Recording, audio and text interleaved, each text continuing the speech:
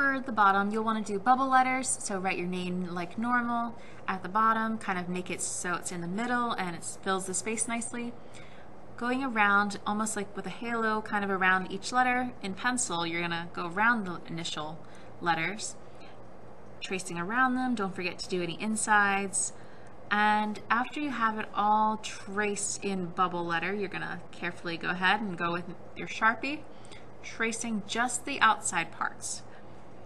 So you're wanting to just trace the outsides carefully, and it's always a good idea to double check before you add the Sharpie. And then you can easily erase around the Sharpie any pencil lines that are still there. And you'll see that I forgot to do the R and the A, little spaces in between, so that's fine. I just went in with my um, my eraser, finished up, and then I'm just gonna fix that right on up.